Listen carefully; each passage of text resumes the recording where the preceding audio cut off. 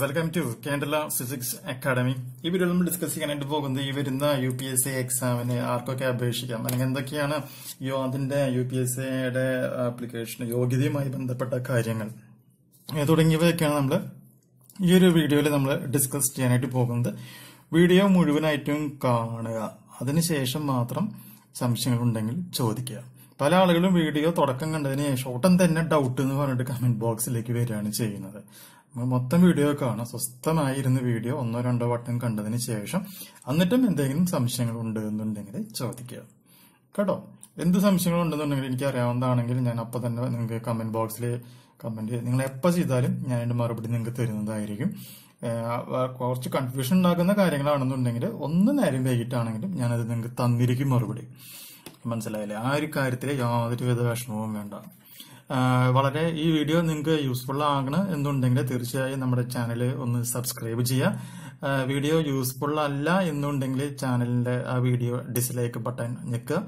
Video ഇഷ്ടമായാൽ like ചെയ്യുക. തുടർന്നും നോട്ടിഫിക്കേഷൻസ് ലഭിക്കണം. അല്ലെങ്കിൽ ഇതുപോലെയുള്ള കാര്യങ്ങൾ അപ്ഡേറ്റുകൾ അറിയണമെന്നുണ്ടെങ്കിൽ എന്താ പറയുക സബ്സ്ക്രൈബർ ബട്ടണും കൂടി ഒന്ന് ക്ലിക്ക് ചെയ്യാം അപ്പൊ ചില ചൊറിയന്മാര് ചോദിക്കും "ഏയ് ഇത്രയും നാൾ സബ്സ്ക്രൈബ് ചെയ്യാനായിട്ട് പറയാത്ത ആൾ ഇപ്പൊ എന്തിനാ സബ്സ്ക്രൈബ് ചെയ്യാനായിട്ട് പറയുന്നത്? എന്ന് ചോദിക്കും.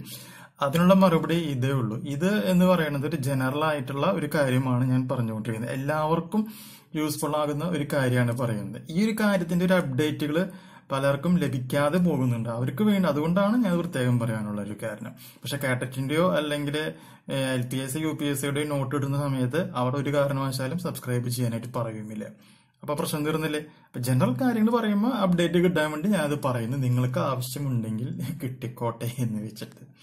അതുകൊണ്ട് എന്റെ സ്ട്രാറ്റജിയിലൊന്നും ഒരു മാറ്റവും വന്നിട്ടില്ല. ഓൺലൈൻ ക്ലാസ്സുകളിലൊന്നും തന്നെ സബ്സ്ക്രൈബ് ചെയ്യാനായിട്ട് പറയില്ല. ഇതുപോലുള്ള ജനറൽ കാര്യങ്ങളിൽ മാത്രമാണ് അങ്ങനെ പറയുള്ളൂ. ഓക്കെ നമുക്ക് വേഗം വീട്ടിലേക്ക് പോവാം. യു പി എസ് എക്സാം എഴുതാനായിട്ടുള്ള നമ്മുടെ യോഗ്യത എന്ന് പറയുന്നത് പതിനെട്ട് വയസ്സിനും നാൽപ്പത് വയസ്സിനും ഇടയ്ക്കുള്ള ആളുകൾക്കാണ് അപ്ലൈ ചെയ്യാൻ പറ്റുക. പ്രത്യേകം ഓർക്കുക ജനറൽ കാറ്റഗറിയിലെ പൂജ്യം രണ്ട് പൂജ്യം ഒന്ന് ആയിരത്തി തൊള്ളായിരത്തി എഴുപത്തി ഒമ്പത് മുതൽ പൂജ്യം മൂന്ന് പൂജ്യം ഒന്ന് രണ്ടായിരത്തി ഒന്ന്. ഈ രണ്ട് ദിവസങ്ങളും ഉൾപ്പെടെ ജനിച്ച ആളുകൾക്ക് എന്ത് ചെയ്യാനായിട്ട് സാധിക്കും? യു പി എസ് സിയുടെ ഈ ഒരു എന്താ പറയുക വളരെ പ്രീമിയം ആയിട്ടുള്ള ഈ ഒരു എക്സാമിന് അപ്ലൈ ചെയ്യാനായിട്ട് സാധിക്കും. ഒപ്പം തന്നെ വയസ്സിലെ ഇളവുകൾ കിട്ടുന്ന ഒ ബി സി അല്ലെങ്കിൽ ഇളവ എസ് സി എസ് ടി പോലുള്ള ആളുകൾക്ക് അതിൽ അവരുടേതായിട്ടുള്ള ഈ ഒരു ഇതിനെ ബേസ് ചെയ്തുകൊണ്ടുള്ള ഇളവ്. അതായത് എസ് സി എസ് ടികാർക്ക് നാൽപ്പത്തി അഞ്ച് വരെയും ഒ ബി സികാർക്ക് ഇളവ് അവർക്കൊക്കെ നാൽപ്പത്തി മൂന്ന് വയസ്സ് വരെയും അപേക്ഷിക്കാം എന്നാണ് ഞാൻ മനസ്സിലാക്കിയിട്ടുള്ളത്. എന്തെങ്കിലും വ്യത്യാസങ്ങൾ ആർക്കെങ്കിലും അപ്ലൈ ചെയ്യുമ്പോൾ ഉണ്ടായിട്ടുണ്ട് എന്നുണ്ടെങ്കിൽ തീർച്ചയായും അത് കമന്റ് ബോക്സിൽ നിങ്ങൾ കമന്റ് ചെയ്യണം. കാരണം എന്തെങ്കിലും വ്യത്യാസങ്ങൾ ഉണ്ടെങ്കിൽ അത് മറ്റുള്ളവർക്കും കൂടി യൂസ്ഫുൾ ആവാൻ വേണ്ടിയിട്ടാണ്. ഓക്കെ അടുത്തതായിട്ട് നമുക്ക് ഇത് ആർക്കൊക്കെ അപേക്ഷിക്കാം എന്നുള്ളതാണ്. മൂന്ന് യോഗ്യതകളാണ് ഇതിലും പറഞ്ഞിട്ടുള്ളത്. ഒന്നാമത്തെ യോഗ്യത എന്ന് പറയുന്നത് എസ് എസ് എൽ സി പാസ്സാവണം. ഇനി എസ് എസ് എൽ സി പാസ്സാവാത്ത കുട്ടികൾക്ക് ഉണ്ടെങ്കിൽ എന്ത് മതി തത്തുല്യ യോഗ്യത വേണമെന്ന് ആണ് അവർ പറയുന്നത്. ഒപ്പം തന്നെ പ്രീ ഡിഗ്രി തത്തുല്യ യോഗ്യത പ്രീ ഡിഗ്രിക്ക് ശേഷം പ്രീ ഡിഗ്രി ഇപ്പം എടുത്തു കളഞ്ഞല്ലോ അപ്പൊ പ്രീ ഡിഗ്രിയും പഠിച്ചിട്ടുള്ള ആളുകളാണെന്നുണ്ടെങ്കിൽ അവർക്കും എന്ത് ചെയ്യാനായിട്ട് പറ്റും? ഈ ഒരു സംഗതിക്ക് അപ്ലൈ ചെയ്യാം. പ്രീ ഡിഗ്രിക്ക് ശേഷം പിന്നെ പ്ലസ് ടു വന്നു. പ്ലസ് ടു അല്ലെങ്കിൽ തത്തുല്യ യോഗ്യത ഈ തത്തുല്യ യോഗ്യത എന്ന് പറഞ്ഞാൽ ഉദ്ദേശിക്കുന്നത് കേരളത്തിലെ യൂണിവേഴ്സിറ്റികളോ കേരളത്തിലെ യൂണിവേഴ്സിറ്റികളോ അല്ലെങ്കിൽ പി എസ് സിയോ എഡ്യൂക്കേഷൻ ഡിപ്പാർട്ട്മെന്റോ അംഗീകരിച്ചിട്ടുള്ള കോഴ്സുകളെയാണ് നമ്മൾ ഈ തത്വ ഈ എൻ ഐ ഒ എസ് എന്നൊക്കെ പറഞ്ഞ സംഭവമല്ലേ എൻ ഐ ഒ എസ് അവർക്കൊക്കെ വിദ് അവർക്കൊക്കെയും തീർച്ചയായും അപേക്ഷിക്കാൻ പറ്റുമെന്നാണ് നമ്മൾ മനസ്സിലാക്കുന്നത്. അപ്പൊ എസ് എസ് എൽ സി എല്ലാവർക്കും ഉണ്ടാവും അല്ലെ പ്രീ ഡിഗ്രി ഉള്ളവർക്ക് പ്രീ ഡിഗ്രി പ്ലസ് ടു ഉള്ളവർക്ക് പ്ലസ് ടു വയ്ക്കാം അല്ലെങ്കിൽ ഈ പറഞ്ഞ മൂന്നിന്റെ തത്തുല്യ യോഗ്യതകൾ ഏതാണോ അതാത് യോഗ്യതകൾ വെച്ചുകൊണ്ട് പരീക്ഷയ്ക്ക് അപ്ലൈ ചെയ്യാം. അപ്പൊ അത് ഇവിടെ ഹാപ്പി ആയിട്ട് അവസാനിച്ചു. അടുത്ത് നോക്കാം.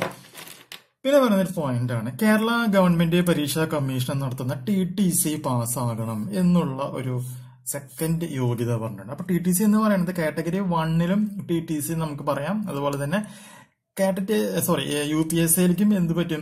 ടി ടി സി പാസ്സായ ആളുകൾക്ക് എന്ത് ചെയ്യാനായിട്ട് പറ്റും? U P S A apply ചെയ്യാനായിട്ട് സാധിക്കും എന്നാണ് ഈ ഒരു ഒറ്റ പോയിന്റ് കൊണ്ട് നമുക്ക് മനസ്സിലാക്കുന്നത് അപ്പൊ ടി ടി സി പഠിച്ച ആളുകൾക്ക് കാറ്ററ്റ് കാറ്റഗറി വണ്ണും ഉണ്ടെങ്കിൽ അവർക്ക് എന്ത് ചെയ്യാനായിട്ട് സാധിക്കും?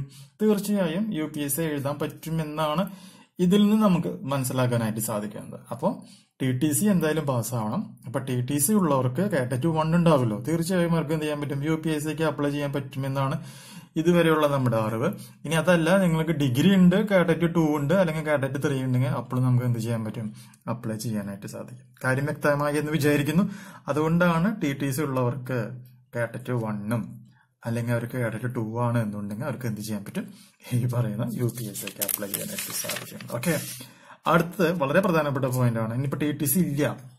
അപ്പൊ നമുക്ക് എനിക്കൊന്നും ടി ടി സി ഇല്ല. അതുകൊണ്ട് എനിക്ക് എൽ പി എസ് അപ്ലൈ ചെയ്യാൻ പറ്റില്ല. അപ്പൊ എന്റെ പെണ്ണിനും അപ്ലൈ ചെയ്യാൻ പറ്റില്ല. കേരളത്തിലെ സർവകലാശാലകൾ നൽകിയതോ അംഗീകരിച്ചിട്ടുള്ളതോ ആയ ഏതെങ്കിലും എന്താ ഇന്ന വിഷയം എന്ന് പറയുന്നില്ല കേട്ടോ. ഏതെങ്കിലും വിഷയത്തിലുള്ള ബിരുദം. ബിരുദവും B Ed B T L T യോഗ്യതയും നേടിയിരിക്കുന്നത് അപ്പൊ ടി ടി സി ഇല്ലാത്തവരാണെന്നുണ്ടെങ്കിൽ പറയുന്ന കണ്ടീഷൻ ഏതാണ്? കേരളത്തിലെ സർവകലാശാലകൾ നൽകിയതോ? അതായത് നമ്മുടെ മഹാത്മാഗാന്ധി സർവകലാശാല അല്ലെങ്കിൽ സംസ്കൃത് സർവകലാശാല പിന്നെ ഏതാണ് നമ്മുടെ നമ്മുടെ സ്വന്തം കാലിക്കറ്റ് കണ്ണൂര് ഇങ്ങനെയുള്ള സർവകലാശാലകൾ നൽകിയതോ അംഗീകരിച്ചിട്ടുള്ളതോ ആയ ഏതെങ്കിലും വിഷയത്തിലുള്ള ബിരുദവും B Ed B T L T യോഗ്യതയും നേടിയിരിക്കണം. അവർക്കും എന്ത് ചെയ്യാനായിട്ട് സാധിക്കും? യു പി എസ് എ പരീക്ഷയ്ക്ക് അപേക്ഷിക്കുവാനായിട്ട് സാധിക്കും.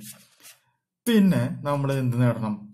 ബന്ധപ്പെട്ട വിഷയത്തിൽ തന്നെ സി ടെറ്റ് അപ്പൊ ടി ടി സി ഉണ്ട് എന്നുണ്ടെങ്കിൽ സി ടെറ്റ് വണ്ണും ടൂ ഉള്ളവർക്കും അപ്ലൈ ചെയ്യാം.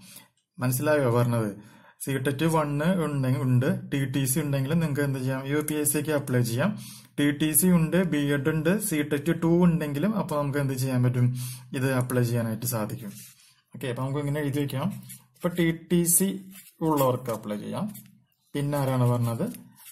ബി എഡ് ഡിഗ്രി ഇങ്ങനെയുള്ള യോഗ്യതകൾ അല്ലെങ്കിൽ ഡിഗ്രി പിന്നെ എന്താണ് പറഞ്ഞിരിക്കുന്നത് ബി ടി എൽ ടി ഇതാണ് നമുക്ക് വേണ്ട യോഗ്യത. അങ്ങനെയുള്ളവർക്ക് എന്ത് ചെയ്യാൻ പറ്റും? ഇതിലേതെങ്കിലും ഒന്ന് മതി. C TET one C TET two KTET one KTET two KTET three അല്ലെങ്കിൽ SET NET M Phil P H D M Ed ഇവർക്കും എന്ത് ചെയ്യാനായിട്ട് പറ്റും? ഈ പരീക്ഷയ്ക്ക് അപ്ലൈ ചെയ്യാനായിട്ട് സാധിക്കും. ഇനി മതി. അപ്പൊ അതിന്റെ ഒരു കണ്ടീഷൻസ് ഉണ്ട്. അതൊന്ന് പഠിച്ചു വെക്കുക TET general O P O P number നൂറ്റി നാൽപ്പത്തി അഞ്ച് ബാർ പതിനാറ് ജനറൽ എഡ്യൂക്കേഷൻ ഡേറ്റഡ് മുപ്പത് എട്ട് രണ്ടായിരത്തി പതിനാറിന്റെ അടിസ്ഥാനത്തിലും ജി ഒ പി നമ്പർ ഇരുന്നൂറ്റി ആറ് ബാർ പതിനാറ് ജി എഡ്യൂക്കേഷൻ ഡേറ്റഡ് എട്ട് പന്ത്രണ്ട് രണ്ടായിരത്തി പതിനാറിന്റെയും അടിസ്ഥാനത്തിലാണ് ഇങ്ങനെ ഒരു നിയമം വന്നിട്ടുള്ളത് എന്നാണ് അവർ പറയുന്നത് ഇതിന്റെ ഡീറ്റെയിൽസ് വേറെ ഒരു വീഡിയോ ആയിട്ട് ചെയ്യാം ഇനി M Phil in the concerned subject be one awarded by any of the university in Kerala or recognised as equivalent by any of the universities in Kerala. അതായത് കൺസേൺഡ് സബ്ജക്റ്റിൽ നമുക്ക് എന്ത് തന്നെ വേണം? അതായത് സയൻസ് പഠിച്ചവർക്ക് സയൻസിൽ തന്നെ എം ഫിൽ വേണം. ആർട്സ് പഠിച്ചവർക്ക് ആർട്സിൽ തന്നെ എം ഫിൽ ഉണ്ടെങ്കിൽ മാത്രമാണ് അപ്ലൈ ചെയ്യാനായിട്ട് സാധിക്കുകയുള്ളൂ. അത് കേരള ഗവൺമെന്റ് അംഗീകരിക്കണം. അല്ലെങ്കിൽ തത്തുല്യ യോഗ്യത ഉണ്ടാകണം എന്നാണ് പറയുന്നത്. അടുത്തത് വളരെയധികം ഇൻട്രസ്റ്റിംഗ് ആയിട്ടുള്ള കുറെ ആളുകൾ എന്നോട് ചോദിച്ചൊരു സംശയമാണ്. എനിക്ക് അതിന്റെ ഉത്തരം അറിയാത്തതുകൊണ്ട് ഞാൻ മിണ്ടാതിരിക്കുകയായിരുന്നു. അപ്പൊ അവർക്കുള്ള ഉത്തരമാണിത് ഇപ്പൊ ശ്രദ്ധിക്കുക. Candidates who have not studied the regional language Malayalam. Either under നിങ്ങൾ ഈതർ ആണോ? ഈതർ എന്നാണോ പറയാ? ഈതർ ആണ് കേട്ടാ either under part one or part two or as a medium of instruction for S S L C will not be eligible for appointment പേടിക്കണ്ട പേടിക്കണ്ട പേടിക്കണ്ട പേടിക്കണ്ട. അപ്പൊ എന്താണ് പറഞ്ഞേക്കണത്? അതായത് നമ്മൾ കേരളക്കാർ പത്താം ക്ലാസ് എസ് എസ് എൽ സിയിലാണ് നമ്മളൊക്കെ തന്നെ എന്താ പറയുക മലയാളം മീഡിയയിലെ പഠിച്ചിരിക്കുന്നത് അപ്പൊ മലയാളം മീഡിയത്തിൽ പാർട്ട് വണ്ണ് മലയാളം ഉണ്ട് പാർട്ട് ടു മലയാളം ഉണ്ട് പഠിച്ചത് മീഡിയം എന്ത് തന്നെയാണ്? മലയാളം മീഡിയം തന്നെയാണ് തന്നെയാണല്ലേ? അത് പഠിക്കാത്തവർ ആ ഈതർ ഈതർ എന്നാണ് പറയുന്നത് either under part one or part two or as a medium of instructions for S S L C will not be eligible for appointment എന്നാണ് പറയുന്നത് അപ്പൊ കേരളത്തിലെ പഠിച്ച കുട്ടികൾക്ക് ഇത് പ്രശ്നമില്ല. എന്നാൽ എല്ലാവരും നമ്മുടെ സ്റ്റേറ്റ് സിലബസ് ആവണമെന്നില്ലല്ലോ. എന്തായിരിക്കും? C B S E syllabus ആകാം അല്ലെങ്കിൽ വേറെ തമിഴോ അല്ലെങ്കിൽ അങ്ങനെയൊക്കെ കന്നഡ അങ്ങനെയുള്ള ഏതൊക്കെ മീഡിയം വെച്ച് വേണം പഠിക്കാം. അപ്പൊ ഇത് പ്രത്യേകം പറയുന്നു എസ് എസ് എൽ സിക്ക് പാർട്ട് വണ്ണും പാർട്ട് ടൂവും ഇൻസ്ട്രക്ഷൻസ് ആയിട്ട് എന്ത് പഠിക്കുന്നു മലയാളം പഠിച്ചവർക്ക് മാത്രമാണ് യു പി എസ് സിക്ക് അപ്ലൈ ചെയ്യാനായിട്ട് സാധിക്കുള്ളൂ എന്നാണ് അവർ പറഞ്ഞിട്ടുള്ളത്. കഴിഞ്ഞിട്ടില്ല? കഴിഞ്ഞിട്ടില്ല. But but to post post R T number five three four bar two zero one notification dated ഈ ഡേറ്റൊക്കെ ഓർത്തിരിക്കുക കേട്ടോ. അതൊക്കെ നിങ്ങൾക്ക് ആവശ്യം വരും. ഓർത്തിരുന്നോളൂ.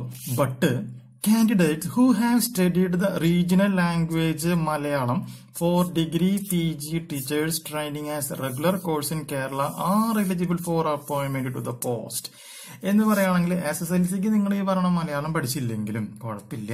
പകരം എന്താ പറയണത്? ഡിഗ്രിക്കോ പി ജിക്കോ അല്ലെങ്കിൽ T T C teaching training regular കോഴ്സായിട്ട് കേരളത്തിൽ പഠിച്ച ആളുകൾക്ക് എന്ത് മതി?